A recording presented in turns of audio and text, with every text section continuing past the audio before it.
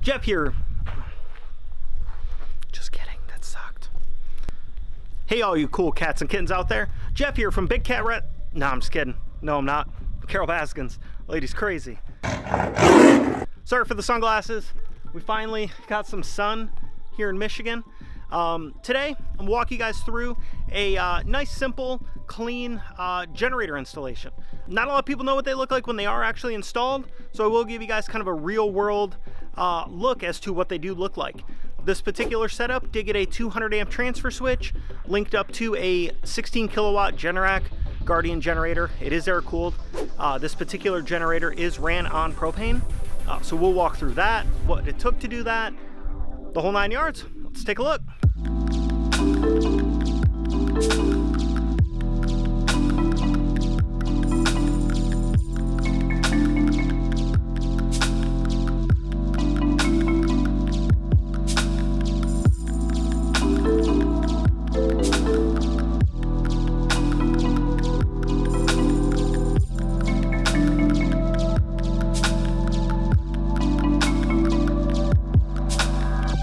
Okay, so here we do have our 200 amp transfer switch from Generac. Uh, this is going to be the whole home transfer switch. Uh, the customer did not want to opt for a essential circuit panel.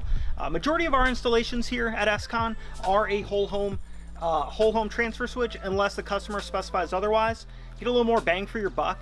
Uh, labor wise, it's actually a little more labor intensive to install an essential circuit panel versus a standard uh, transfer switch. So usually we opt for it.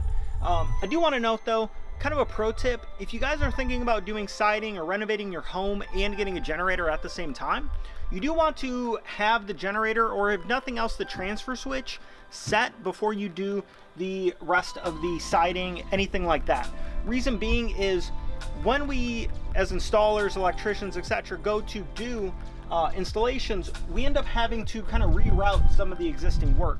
This case, the customer does have some J channel uh, that he is going to have cleaned up, um, you know, with the siding, but just something to keep in mind. We don't want to add to your plate uh, as far as the installation goes. So this here is going to be the inside of the transfer switch. Uh, in this case, again, it is a 200 amp transfer switch. Uh, up top, you have your main uh, utility service disconnect, as it states, on off. Very simple, very straightforward. Down here, this little slot, there's actually a little lever that Generac provides for you to be able to go from utility power to generator power manually.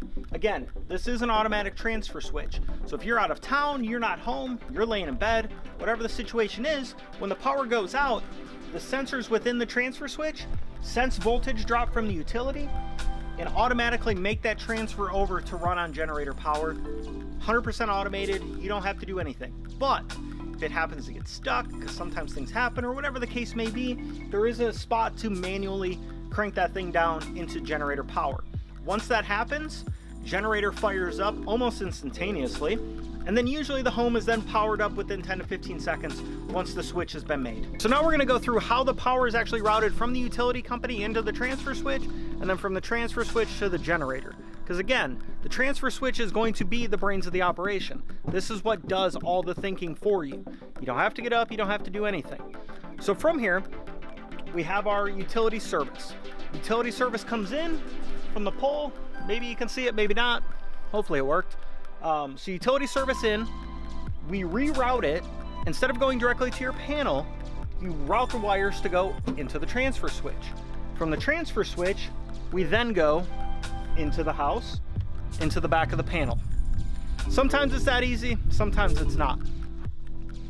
So now we have wiring that goes from the transfer switch down and over into the back of the generator, which you will see here in a second.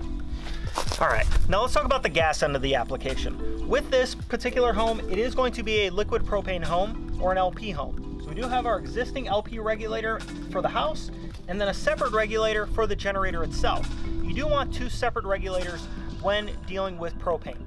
Reason being is you don't want to pull fuel from the home to fuel the generator or from the generator to fuel the home. It ends up being a bad dynamic either way. Now as you can see as well, we do have our gas lines buried all the way over to the generator. Why? It looks better. Yeah, it takes a little more work, but at the end of the day, it's a nice clean line straight through. We're not messing with uh, any surface mount conduit, kind of like this janky looking cable wire there or anything like that. Very simple, very clean, very straightforward. Okay, so now we come to the final step, the actual connections into the generator itself. Again, we do have our electrical wires coming underground from the transfer switch right behind me, over and up, flex line in to the back of the generator. Then we do have our gas line coming up, flex line in. Reason you want flex line or reason is required for flex line is this machine does vibrate quite a bit. Also, the ground does move up and down with frost here in Michigan. Always flex line connections, never have any issues.